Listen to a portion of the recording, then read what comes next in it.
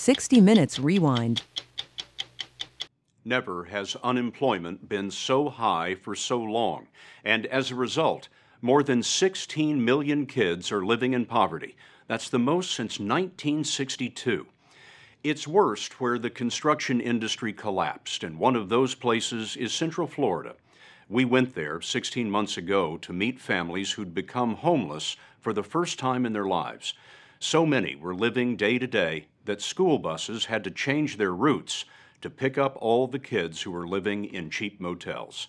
We called that story Hard Times Generation. Then, eight months ago, we went back to see how things had changed we found that some families are losing their grip on the motels and discovering that the homeless shelters are full. Where do they go then?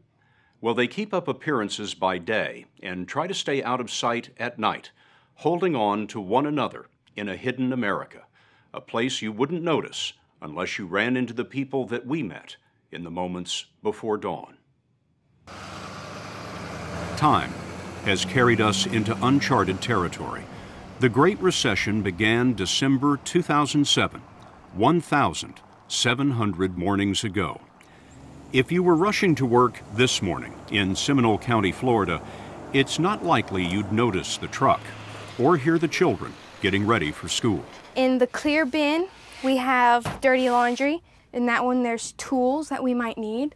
All these bank bags are storage of this and that. Like yeah. um, shampoo. And over here is food. Food. So you're really not heating up food so no. much. You're eating out of cans? Yep. This is the home of the Metzger family. Ariel, 15, her brother Austin, 13. Their mother died when they were very young. Their dad, Tom, is a carpenter, and he's been looking for work ever since Florida's construction industry collapsed.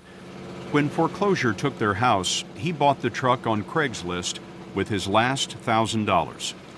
Tom's a little camera shy, thought we ought to talk to the kids, and it didn't take long to see why. How long have you been living in this truck? About five months. What's that like? It's an adventure. Yeah, that's how we see it. When kids at school ask you where you live, what do you tell them? When they see the truck, they ask me if I live in it, and when I hesitate, they kind of realize. And they say they won't tell anybody, and yeah, it's not really that much of an embarrassment. I mean, it's only life. You do what you need to do, right? It's life for a lot of folks. The number of kids in poverty in America is pushing toward 25%, one out of four. Austin and Ariel usually get cleaned up for school at gas stations. They find it's best to go to different ones every day so the managers don't get sore. Hi, Daddy. Before the bell, they blend in with more than 1,800 other homeless students in the Seminole County schools. At Casselberry School, we met 15 kids who'd been living in cars. With their parents' permission, they told us you don't get much sleep with your brothers and sisters in the back seat. But that wasn't the worst part. So we were really scared. Uh, so so uh, we'll stay up all night sometimes and watch over my mom and keep her uh, safe. How many of you, show me your hands, uh, were worried about your safety while you were living in the car? To me, it was scary because I thought something was either going to happen to my mom or my grandfather or my dad or me. We weren't staying in a very good neighborhood, like where the car was parked, and um, someone came up and robbed my aunt for the little bit of money that we had. Well, I worried that someone would just break in and steal my mom's purse. Jade Wiley is eight years old. She spent three weeks living in her car with her mom, her dad, two dogs, and a cat. Did you think you were ever going to get out of the car? I thought I was going to be stuck in the car. How'd you keep your spirits up? I was still praying to God that somebody let us stay in the hotel. And how did you get out of the car? Well, there's this nice lady named Beth, and then she gave us a lot of money so we could stay at the hotel, and now I'm staying at the hotel. And she said that a nice lady named Beth came and gave the family money. Well, a nice community came. I just delivered it. Beth Davalos runs programs for homeless kids in the Seminole County schools. This is the video that she shot when she found Jade's family. Well, we deal with it. Every day we deal with it when we live in the car. We're gonna go get you a hotel room now. How do you feel about that? Happy. When Davalos hears of a student on the street, she uses county money and donations to get temporary shelter in a motel. Good job. The money she had for Jade's family lasted only a month, so the Wileys and Jade are painting the rest of the motel in exchange for a room. But this is rare. Of all the homeless families in Florida, two thirds are living on the street. I hear about it every week, every couple days. If they're not living in the car right now, they are avoiding it. Some of them don't even have cars to live in, or they recently got out of it. Why is it happening right now? The longevity of homelessness continues to rise. So people are running out of resources. The unemployment runs out, their savings run out, the family that lent them money does not have it anymore because they're looking at economic hardship. And before you know it, they find themselves living in their car because they just ran out of all options. Last year, when folks heard about the homeless students in Central Florida, $4 million in donations poured in. Beth Davalos set up food banks in 41 Seminole County schools. They gathered up clothing for the kids and shelled out cash for motel rooms. I really appreciate it. Four million is a lot of money. But think of this. Of all the families without shelter in America, one fourth are in Florida. At Casselberry School, we sat down with the Coates family. Instead of three meals a day, we ended up doing two meals a day. And then there was this one day where um, we didn't have any more money, and that's how we ended up in the car. Last year, the Coates left Washington, D.C. for a new life in Florida, but the jobs dried up. When the savings went, Victoria and D'Angelo learned how to be homeless. They found out there's a checklist for living in a car. You want security, lighting, a place where you might be welcome or at least a place busy enough to hide in. Walmart lots can be good, it depends on the manager. YMCAs mostly look the other way. D'Angelo settled outside a hospital emergency room.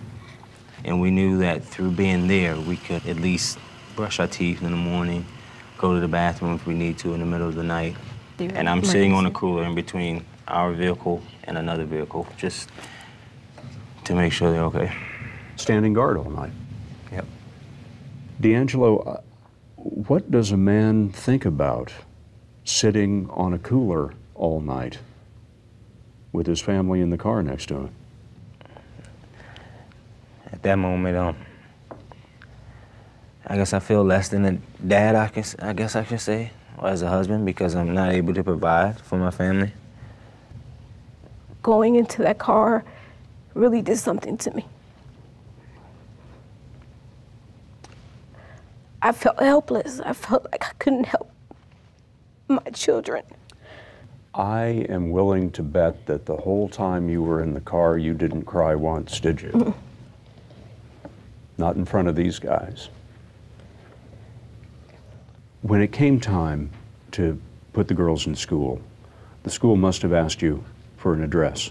That, okay, well, you have these boxes to choose, and you had one that said shelter. You checked the shelter box. Yeah. There was no box for car, No, so you lied to them. basically, You do what you have to do. there was not an option to take my girls away. I wonder if some of these families are hiding from the system, hiding from you. Yeah. Because as one woman put it to us today, she said, I was afraid that if they found out we were living in the car, the state would take my children away from me. Yeah, they're scared. They're very scared. And the reality is, if the state found them in a car, they could, their children could be taken away and put someplace safe for now. But when we find them, we can put them someplace safe. The Coates tried to go someplace safe. They called every shelter in the area, but they were all full. After 10 days in the car, The only thing in the bottom of the cooler was an orange. So Victoria started calling again. And we called each and every one of them. And then I got to the last one, which was Orlando Rescue Mission. And I called, and the lady said, We have programs for your entire family. You must have thought you weren't hearing right. Yeah. How close did you come to running out of gas on the way to the rescue mission? We had like maybe a quarter tank before the E. So, really, all you had to your names at that point was a quarter of a tank and an orange. That's right. It wasn't long after the family made it into the shelter that D'Angelo found a job. He's manhandling garbage cans and proud to have the work. The hard work. The hard work's good for you. I'm thankful to have a job. With help from his employer, they hope to get Jamie, Jamia, and Jayla in a home of their own. What do you know now that you didn't know before you lived in the car? I know to be grateful that you have your family and that my mom is really, really, really protective. Protective because there is a ferocity that comes with being a parent on the street. Hiding the kids from cops and criminals, watching options grow shorter, the days longer, and the nights. The nights are just stubborn, sitting on a cooler, waiting for the sun. The story will continue after this. One threat to a family out here is idleness. So the folks that we met fill the days with every free and normal thing. After school, the Metzgers drive their truck to the library. Because they've got the computers that we can use and light and all that. I wonder what education means to you two. I mean, it's everything. It is everything to us. I plan to be a child defense lawyer. If I focus on my studies, I have that opportunity. The American dream is durable, and there is something about growing up in a truck that makes you believe in it all the more. As we tagged along with the Metzgers, they told us they liked the truck better than a motel, and they wanted to show us something they've been doing in the evenings. They're acting in a community theater, a free and normal thing. On stage, they had a chance to be somebody else, but what struck us most was that they were just as happy in their roles as the Metzgers.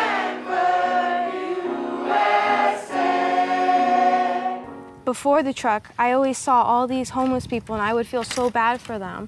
And then as soon as we started living in the truck ourselves, I've seen even more and I just feel so bad. And even though I'm homeless myself, I want to do as much as I can to help them get up, back up on their feet. You sound very adult to me. She is. She likes to take over. And you too, a little bit, Austin. You had to grow up pretty fast. Yeah. Yeah. Every time I see like a, a teenager or any other kid fighting with their parents or arguing with them and like not doing what they're told, it really hurts me because they could be in my shoes, and of course I don't want them to be in my shoes, but they need to learn to appreciate what they have and who they have in their life because it may be the last day they might have it.